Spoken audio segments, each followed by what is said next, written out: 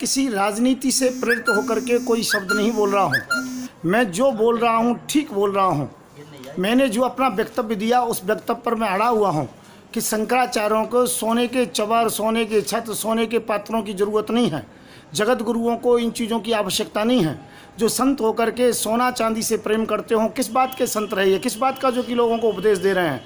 मैं कह रहा हूँ, ऐसे जगत गुरु ऐसे शंकराचार्य जो सोने चांदी के पात्रों में भोजन करते हों, वो संतों की गरिमा को धूमिल कर रहे हैं।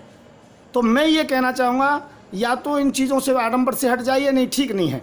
आप चांदी के पात्रों में भोजन करते हो, सोने चांदी के सिंहासन पर बैठते हो, और इसके अलावा गाय माँ के नाम पर तुम दलाली खाते हो हैं? तीन सौ करोड़ रुपए सभी शंकराचार्यों ने जगत गुरु ने इसलिए मिलके खाए कि चुनाव के दौरान कोई भी ये ना कहे, कोई गाय का मुद्दा ना ले, राम जन्मभूमि का मुद्दा ना ले।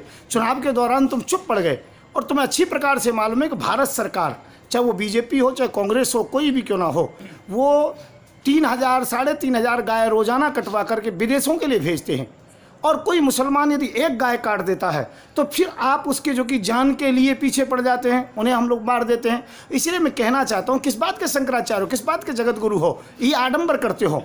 मैं एक बात कहना चाहता हूँ, आडंबर छोड़ो, चांदी के पात्र ये घनर वगैरह, तुम तो साधारण व्यक्ति से भी घटिया किस्म के हो। हालाँकि लोग मुझे विद्रोही कहेंगे, हिंदू धर्म का विरोधी कहेंगे, पर मैं सत्य कह रहा हूँ, हिंदू धर्म को इन शंकराचार्य और जगत गुरुओं ने, जो केवल गाय के मांस की दलाली खाते हैं, इन्होंने गलत कर रखा है। मैं इनका विरोध करता हूँ। मैं हिंदू सेना राष्ट्रीय अध्यक्ष, अंतर्राष्ट्रीय ब्राह्मण समाज राष्ट्रीय अध्यक्ष। मेरा नंबर है double nine two seven four zero four six zero six. आप कमेंट कर सकते हैं, पर पुनः कह रहा हूँ, ये शंकराचार्य ये पाखंडवाद है। इस पाखंडवाद को दूर करना चाहिए। जय श्री राधे, जय श्री कृष्ण, जय हिंद, जय भारत, जय गौ माता की।